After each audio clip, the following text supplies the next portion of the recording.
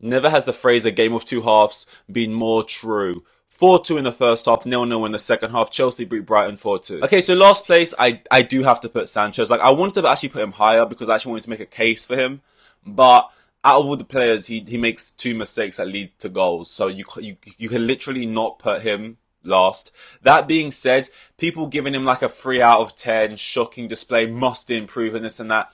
And it's like, yeah, he does make mistakes, too many playing out from the back sometimes, and just like little head loss moments. But I actually think he saved us from a couple goals. Okay, maybe the first save, which we're all probably thinking about, was one he should make. But I think the second save from Danny Welbeck is a really good dive with your right hand.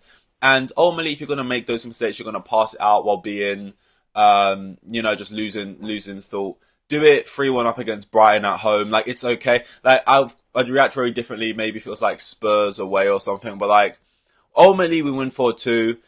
Like the mistakes what is what like what they were, I feel like they can be ironed out. Like if he had crisp packet wrists and his dives just weren't there and he wasn't coming for crosses and like a bit more of a Kepa situation, I'd be a little bit more worried. But I actually rate Sanchez as a goalkeeper in terms of, you know, the traditional sense, the making of saves. And I feel like if those were the, the frailties, I'd be a little bit more worried. I'm repeating myself. But basically, I don't think he's bad at playing the ball out. Like he's not bad at He's, but his decision making is what's worse than his actual ability to do it. Is what I'm trying to say.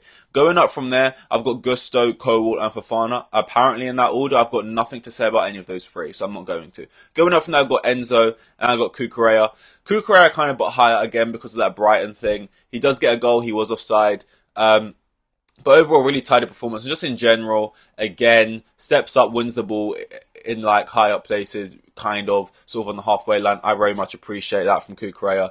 And um, just out of the defenders, gave me the most the most joy, I'd say.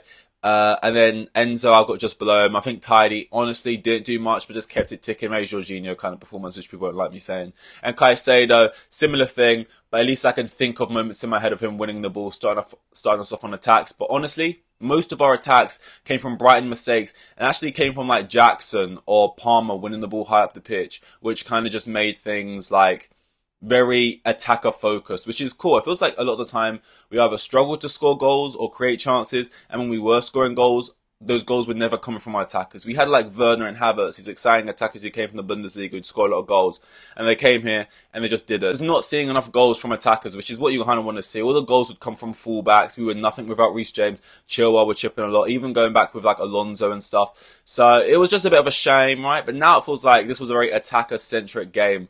Uh, which is nice. It's nice to see these attackers coming in and doing well. Uh, and I'm not just talking about Palmer there. I'm talking about Sancho. We'll get into him in a minute. Going up from there, I've got Noni. He's the first attacker we're going to talk about. It was kind of interchangeable this for me between Noni and Jackson, but I guess Jackson gets an assist. Um, so I put him slightly higher. But they both, I think, had really good games. Like the crowd, like people getting a bit annoyed at times when they wouldn't finish their chances. But I think they both worked really well to get into those situations to score. Again, we're 4 to someone being a little bit more lenient when they're not taking certain chances. But they do, they basically done everything apart about their game good today, apart from putting the ball in the back of the net. You could see Jackson was a bit annoyed at himself coming off today he didn't get a goal because he had multiple chances, him especially, to get one.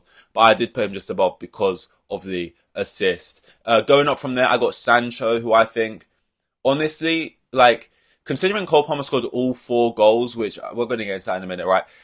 I actually think Sancho was like comparable with how good he was today, and he scored none. Like that's how good I think he was. Just like I, I really liked Sancho, and I really wanted us to sign him before he went to United because we were linked to him at the same time. And then he went to United, and we ended up getting someone else, and I kind of lived with that and said I had to learn to love that player. But I really wanted Sancho.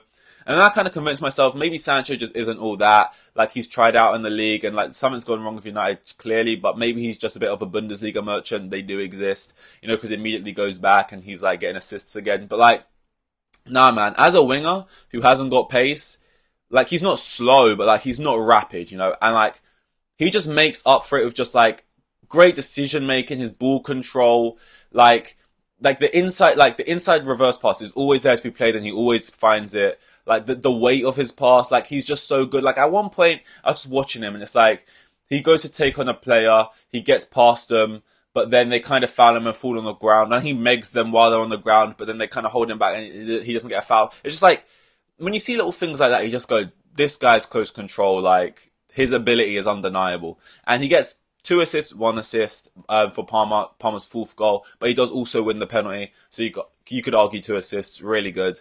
And then Cole Palmer. I mean, I knew this day was gonna come where he scored four goals in the game. The second I saw that clip, like when he's doing the one, two, three for the graphic, and he's like, "What about if I score four though?" And it's just like he has this kind of like really genuine arrogance about him like that that that comes out of him in the most like genuine natural way that you that I've only seen like I can remember anyway from like Hazard in terms of Chelsea.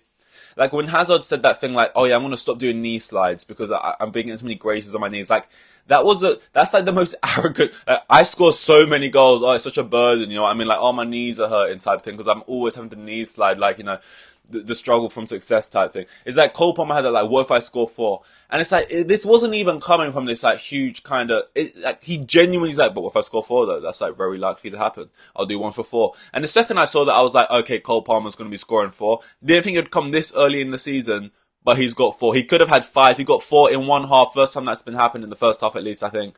And um, he could have had five in the whole game.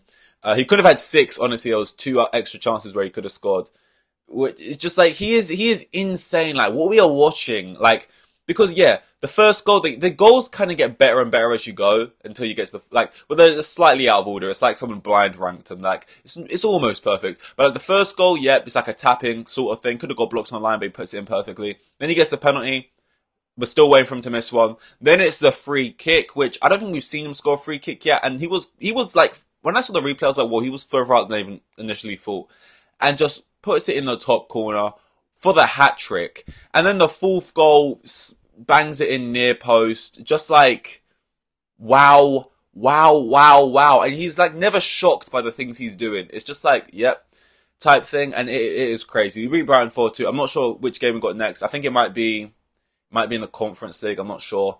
Noah, is it? And after being XG merchants for what it feels like, has just been too long. It's nice to actually be in exciting games and been getting the goals for it as well. So on to the next.